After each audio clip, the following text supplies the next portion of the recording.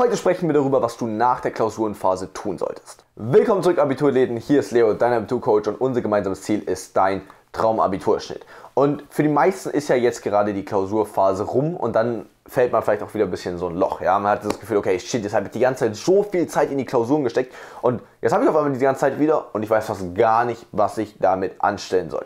Und das ist eine extrem große Gefahr. Unterschätzt das nicht, weil das ist das Ding. Du freust dich, dass die Klausuren rum sind, yeah, yeah, yeah und bist quasi in einem positiven Gefühl, obwohl jetzt gerade eigentlich eine der gefährlichsten Zeiten ever innerhalb deines Schuljahres kommt. Denn wenn du die ganze Zeit auf High Performance, High Performance, High Performance, du gibst Gas, Gas, Gas, Gas, Gas und auf einmal musst du nicht mehr Gas geben, entsteht eben genau dieses Loch, in das du ganz, ganz schnell reinfallen kannst. Ja? Sowohl mental, weil du auf einmal dich die ganze Zeit auf die Schule fokussiert hast und jetzt weißt du nicht mehr, worauf du dich grundsätzlich fokussieren sollst.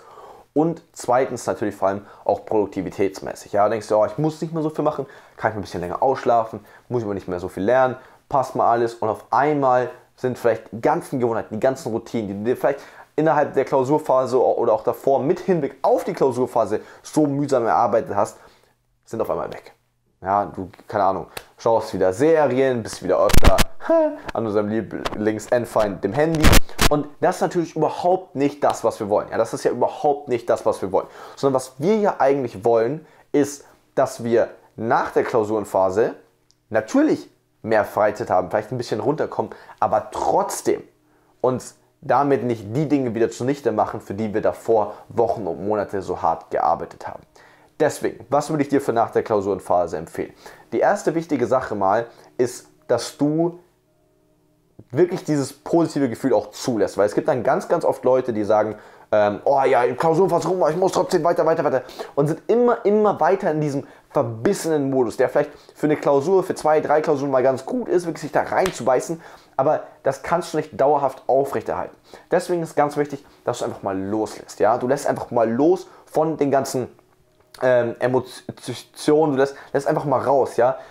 Fühl dich frei, hab Spaß, ähm, tanz in deinem Zimmer, keine Ahnung was, lass es wirklich mal raus. Das ist super, super wichtig, dass du auch mit dieser Klausurenphase, mit dem Ende der Klausurenphase was Positives verknüpfst. Ja? Auch wenn du vielleicht das Gefühl hast, okay, die eine oder andere Klausur, die lief jetzt nicht so gut, versuch trotzdem stolz auf dich zu sein, dass du die Klausurenphase so durchgezogen hast. Selbst wenn du sie nicht perfekt durchgezogen hast, fast niemand zieht irgendwas perfekt durch, aber du hast trotzdem dein Bestes gegeben. Ja? Du hast trotzdem dein Bestes gegeben und das sollst du feiern.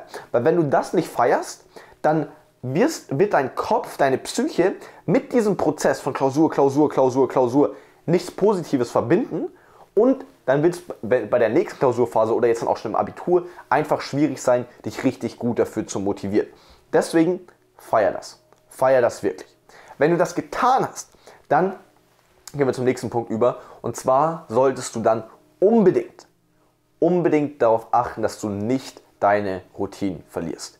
Weil Routinen aufzubauen ist schon sau anstrengend, ja.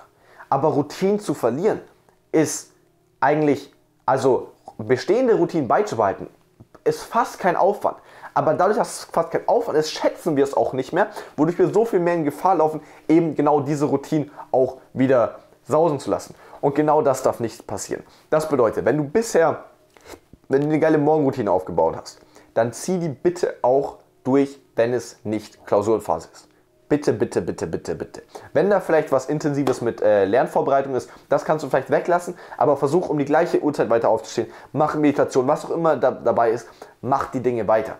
Ganz, ganz wichtig, unabhängig ob Klausurenphase ist oder nicht. Das gleiche gilt natürlich auch für eine Abendroutine, solltest du so eine schon haben.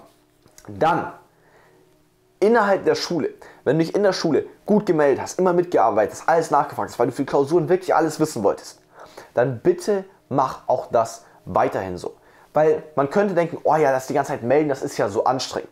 Aber das ist gar nicht anstrengend. Hast du vielleicht selbst auch gemerkt, dass wenn du durch regelmäßiges Melden ähm, in einem Fach wesentlich mehr verstanden hast, dass es auf einmal viel leichter geworden ist. Warum? Du verstehst viel mehr, es macht viel mehr Spaß, sich zu melden, weil du auch was Richtiges sagst, positives Feedback vom Lehrer bekommst und genau diese, auf dieser Welle, auf der du da reitest, auf der möchtest du natürlich auch weiterreiten. Deswegen bitte, lass auch dein Engagement in der Schule nicht nachlassen. Weil, ich meine, natürlich ist vielleicht jetzt dein Verständnis vom Stoff nicht mehr ganz so wichtig, wenn du nicht in drei Tagen gleich wieder die nächste Klausur schreibst. Aber was meinst du denn, worüber die nächsten Klausuren oder dann auch das Abitur stattfinden werden? Natürlich wieder über den Stoff, den ihr jetzt als nächstes durchnehmt. Deswegen seid auch da wieder sofort am Start. Und das gilt dann auch für den Nachmittag, für die, vor allem für die destruktiven Gewohnheiten. Also wenn du zum Beispiel ähm, oft am Handy warst, ja, oder wenn du ähm, immer mega viel gegessen hast, immer so mittags oder ewig langen Mittagsschlaf, so zwei, drei Stunden lang gemacht hast und du davon weggekommen bist, dann schaffst bitte auch das beizubehalten. Es heißt ja nicht, dass du zwangsläufig dann mit der ganzen freien Zeit, die du dann dadurch hast, weil du nicht so viel schläfst oder, ähm, oder zumindest nicht, also Schlaf ist wichtig in der Nacht, aber nicht am Tag halt den Tag verpennst. Ähm, und wenn, dass du nicht an der, keine Ahnung, halt die ganze Zeit am Handy hängst, mit dieser ganzen freien Zeit, die musst du ja nicht zwangsläufig weiterhin konstant ins Lernen stecken. Dafür ist es ja auch da, dass du von der Klausurenphase mal ein bisschen Freizeit hast. Aber was natürlich trotzdem wichtig ist, ist, dass du diese Zeit sinnvoll nutzt. Ja? Das heißt, ähm, du kannst natürlich ähm, ins Lernen stecken, ist natürlich auch außerhalb der Klausurenphase sehr gut, weil es dich dann auf die nächste Klausurenphase oder aufs Abitur sehr gut vorbereitet. Aber nutze es halt auch gerne mit deinen Freunden oder mit einem Hobby. Aber bitte verwende sie sinnvoll. Ja, sinnvoll. Das ist ja das, was ich immer sage. Mir ist es nicht so wichtig, ob du den ganzen Tag am Schreibtisch sitzt oder nicht. Im Gegenteil, ich will gar nicht mal, dass du den ganzen Tag am Schreibtisch sitzt. Da machst du meiner Meinung nach sogar irgendwas falsch. Dann kannst du viel besseres Zeitmanagement, viel bessere Lernstrategien ähm, erlernen, womit das wesentlich einfacher geht. Machen wir eben jetzt auch in meinem 1er-Abitur-Coaching. Ähm, aber versteht ihr, dass ihr einfach euch entscheidet, mache ich jetzt was für die Schule oder habe ich Freizeit? Aber nichts irgendwo dazwischen, wo dann die ganze Zeit nur so am Handy scrollst oder pennst oder äh, nicht dieses halbe Leben. Lebt voll, okay? Entweder produktiv sein oder Spaß haben, aber macht eine von diesen Sachen voll. Und das auch unbedingt nach der Klausurenphase beibehalten, weil das ist so gefährlich, dass du da eben reinrutscht. Deswegen, bitte behaltet eure Gewohnheiten bei, habt trotzdem Spaß ähm, und seid euch natürlich auch bewusst, dass auch noch eine Sache, die ihr sehr gut machen könnt, ist analysiert mal, wie verlief denn die Klausurenphase. Und zwar im Prinzip zwei Sachen. Erstens, was lief gut, also worauf bin ich stolz, wovon will ich mehr machen. Zum Beispiel, okay, ich habe echt regelmäßig angefangen. Dann frage ich, warum habe ich regelmäßig angefangen? Was hat dafür gesorgt, dass du regelmäßig angefangen hast? Ähm, ein Lernplan, keine Ahnung, dass du wirklich, ähm, keine Ahnung, vielleicht in der Zeit auch mal, auch mal wirklich äh, früh aufgestanden bist. Egal, was dir in der Klausurenphase gut getan hast, schreib dir die Sachen auf.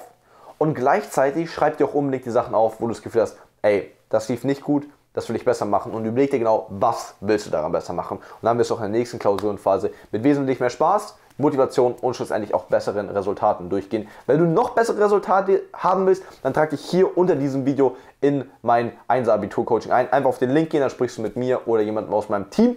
Freue ich mich, dich zu hören. Und ansonsten dran, ich glaube an dich. Wir beide hören uns im nächsten Video. Dein Leo.